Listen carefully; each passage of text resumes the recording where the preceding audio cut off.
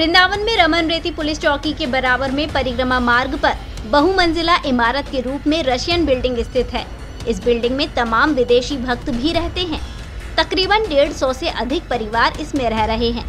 Building के निर्माण, नक्शा और मथुरा वृंदावन विकास प्राधिकरण की औपचारिकताएँ पूरी न किए जाने को लेकर मथुरा वृंदावन विकास प्राधिकरण इस बिल्डिंग स्वामी को कई बार नोटिस थमाए मगर संतोषजनक जवाब न मिलने पर इस बिल्डिंग को सील करने की कार्यवाही शुरू कर दी है। मंगलवार को इस बिल्डिंग की बिजली भी काट दी गई, जिससे वहाँ निवास करने वाले लोगों में हड़कंप मच गया। उसी से परेशान हुए लोगों ने बुधवार को अपने अधिवक्ता को अपना पक्ष रखने के लिए जिला मुख्यालय भेजा। अधिवक्ता कुणाल शर्मा का कहना है कि प्रशासन इस मामले में पूरी तरह से निरक्षर है। उसे नियम, कायदे, कानून का ज्ञान नहीं है। वकील साहब ने अपनी दलील देते हुए कहा कि सुप्रीम कोर्ट द्वारा पुनर्वास की भी एक स्कीम बनाई हुई है। उसी के अनुरूप प्रशासन को कार्यवाही करनी चाहिए।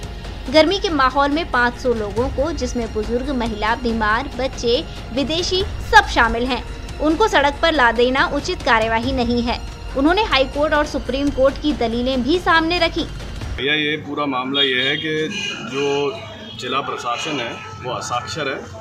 और असाक्षर क्यों है? क्योंकि वो हाई कोर्ट के आदेश को समझ ही नहीं पा रहा। वो हाई कोर्ट के आदेश को मिस इंटरप्रेट करके, क्योंकि अब तक जो प्रशासन चुप बैठा हुआ था, रशियन बिल्डिंग और उसके मालिक के मामले में 2012 से कोई इतनी कंप्लेंट है रेजिडेंट्स द्वारा, जिस बिल्डिंग के रेजिडेंट्स द्वारा की गई।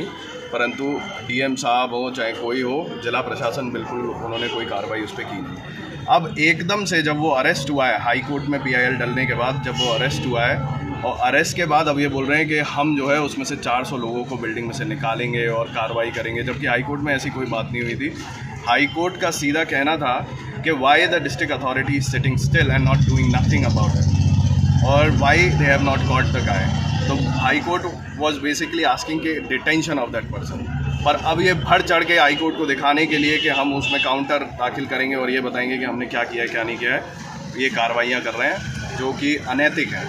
क्योंकि सुप्रीम कोर्ट बोलता है कि if you are misplacing somebody from their house और पुनर्निवास का एक पूरा कानून सुप्रीम कोर्ट ने बनाया है, जिसका पालन जो है डिस्ट्रिक्ट मजिस्ट्रेट साहब नहीं करवा पा रहे हैं। और आ, कल इनकी बेचारों की बिजली काट दी गई उनको पूरी रात तड़पना पड़ा उसमें बच्चे रह रहे हैं छोटे और महिलाएँ हैं बूढ़े लोग हैं जो आज भी ऑक्सीजन पे हैं। टोटल नंबर ऑफ़ फैमिलीज़ हैं 166 और टोटल नंबर ऑफ़ पीपल हैं 540